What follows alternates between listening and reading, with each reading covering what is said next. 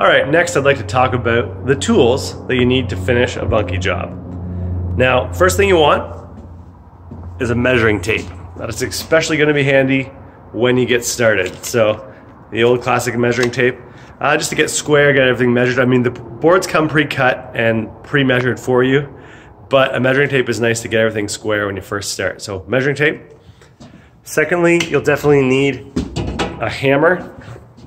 This is just the standard hammer. That'll come in handy if you're gonna be uh, nailing anything, but also just for pounding the blocks down. Um, also, um, a bigger sledgehammer, something like this, it's a little bit heavier, is really nice to, to hammer the logs down even more effectively. Another thing you're definitely gonna need is a level. The longer the better. This is my super level that I bring to all my job sites. Super level, it's like taller than me. Well, almost taller than me. And that's great. If you don't have something that big, that's okay. You can get by with something a little more standard like this.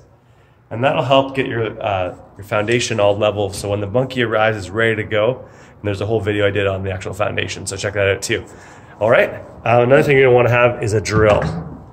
This is my DeWalt cordless battery powered drill. Have an extra battery if you have one of the, those. And if you decide to screw most of your stuff, um, like for example, the roof boards or whatever, then a drill is really nice to have. Um, and some people even screw their roof and their floorboards together and you can use a drill like this as well.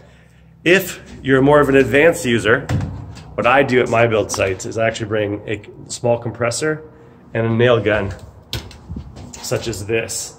It's just boom, boom, boom, and uh, you can install your floorboards and your deck boards really quickly. It's a fast way to do it. Um, but you know, you can also hammer it with just your classic hammer. It just might take a little longer. If you have lots of labor, that's uh, not, not the end of the world. So, you know, your classic hammer and a few nails will also put the deck boards in, so you don't really need the advanced tools. Um, now, one more thing that you can never have enough of is uh, other people to help you. For sure, you need at least one buddy. Uh, it's not a one-man job, it's a two-person job. But the other thing you definitely need a lot of, uh, if you could, is these little step ladders. Just to get up here, you know, and get to a bunkie. I'm not actually in a bunkie, I'm in another build site, but um, you know, even a small step ladder such as this right here will come in handy. Just three steps, just to get higher, because as the logs get higher, um, you're gonna not be able to reach it and get leverage. So a bunch of ladders like this or even taller are, are, the best. Ideally, if you can have a ladder on all four corners, if you can have four ladders, you know, knock on some neighbors' doors, meet your neighbors, borrow their ladders, return them. That's a great way uh, to get the bunkie life experience going. So lots of ladders and all those other tools. You might need a saw. Let me just show you a saw.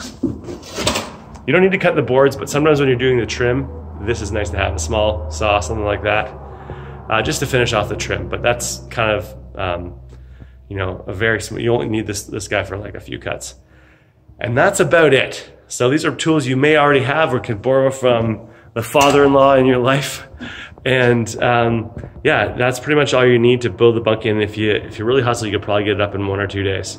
If you have enough help and you have enough ladders. You can never have enough ladders. Hope that's helpful. David from Bunkie Life, signing off.